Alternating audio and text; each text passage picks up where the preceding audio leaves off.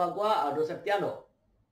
Dalam Spekta Vlog episode ke-107 ini, gua akan membahas acara kuis Family 100 musim 3.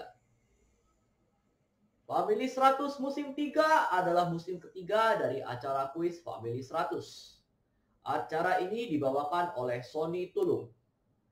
Acara ini merupakan waralaba dari Family Feud di bawah lisensi Fremantle. Family Feud adalah acara kuis di Amerika Serikat yang berusia kurang lebih 4 dekade. Dalam acara ini, dua tim kontestan masing-masing terdiri dari empat orang berusaha untuk menebak jawaban yang terbanyak dijawab berdasarkan hasil survei kepada 100 orang.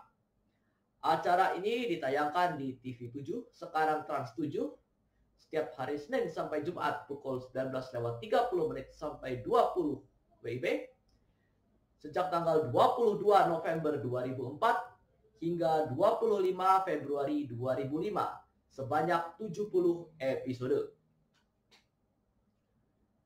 Dalam babak top survei, setiap kontestan dari masing-masing tim akan maju ke depan terlebih dahulu dan saling berhadapan di hadapan pembawa acara.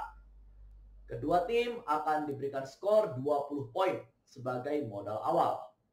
Terdapat empat pertanyaan dalam babak ini. Setiap pertanyaan hanya memiliki satu jawaban mutlak. Pertanyaan pertama sampai ketiga yang terjawab benar akan menghasilkan poin ekstra. Pertanyaan keempat yang terjawab benar tidak menghasilkan poin ekstra, tapi akan menguangkan poin yang telah terkumpul sebelumnya. Pertanyaan pertama bernilai 10 poin dijawab kontestan keempat. Pertanyaan kedua bernilai 20 poin dijawab kontestan ketiga. Pertanyaan ketiga bernilai 30 poin dijawab kontestan kedua.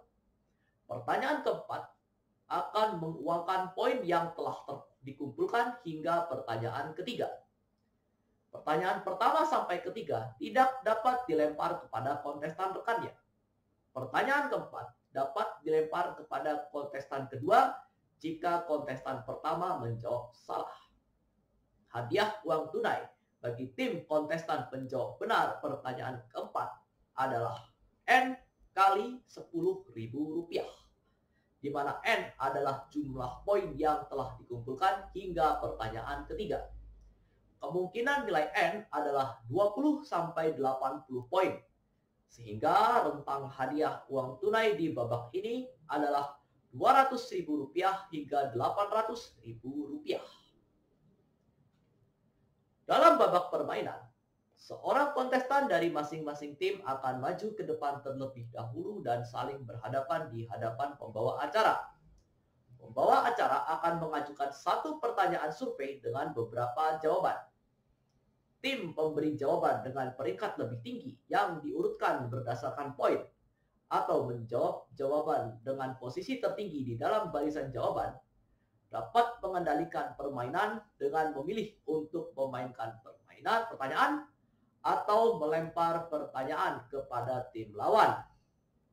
Anggota dari tim yang bermain akan menjawab pertanyaan yang sama secara bergiliran dan mencoba menjawab seluruh jawaban teratas yang belum ditebak tim yang memiliki kesempatan bermain harus menjawab benar semua jawaban jika ingin sapu bersih dan mendapat tambahan poin penuh. Jawaban dijawab secara individual. Jika jawabannya salah, maka akan mendapat tanda silam. Jika mendapat tiga kali tanda silam, maka kesempatan akan berpindah kepada tim lawan. Jika jawaban akhir tim lawan ternyata benar, yang dijawab pemain pertama maka akumulasi poin yang terkumpul akan menambah perolehan kelompok tim lawan alias dicuri. Sebaliknya, jika jawaban akhir tim lawan ternyata salah, maka akumulasi poin yang terkumpul akan menambah perolehan nilai tim yang memiliki kesempatan bermain terlebih dahulu alias tidak dicuri. Jawaban yang belum terbuka hingga akhir babak biasanya akan dibuka satu persatu di mana pembawa acara, kontestan, dan penonton akan beramai-ramai membacakan jawabannya. Babak pertama dinamakan top survei, telah jelas diuraikan di atas. Babak kedua dinamakan nilai tunggal dengan 6 sampai 7 jawaban di mana pemain kedua akan maju terlebih dahulu. Babak ketiga dinamakan nilai ganda dengan 5 jawaban di mana pemain ketiga akan maju terlebih dahulu. Jika kedua tim belum meraih skor minimal 200 poin pada akhir babak ketiga, maka akan diadakan babak tambahan dengan 4 jawaban nilai ganda, di mana pemain keempat akan maju terlebih dahulu. Jika kedua tim masih belum meraih skor minimal 200 poin pada akhir babak tambahan, maka akan diadakan babak tambahan kedua dengan empat jawaban nilai ganda, di mana pemain pertama akan maju terlebih dahulu.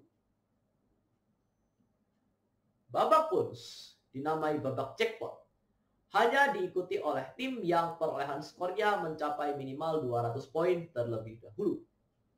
Kontestan utusan pertama akan menjawab 5 pertanyaan dalam waktu 15 detik, di mana waktu mulai dihitung setelah pembawa acara selesai membacakan pertanyaan pertama.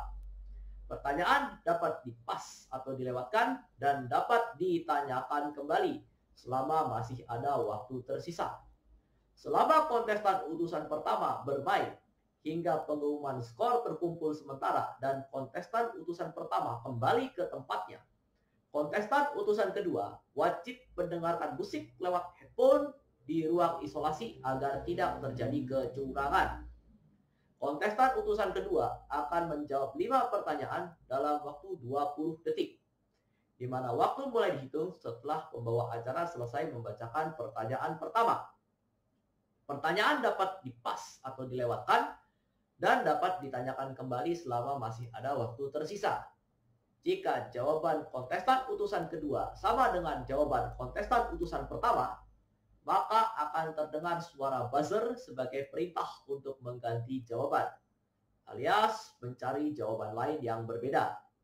Hadiah jackpot dapat diperoleh jika dan hanya jika total skor dari 10 jawaban mencapai 200 poin atau lebih.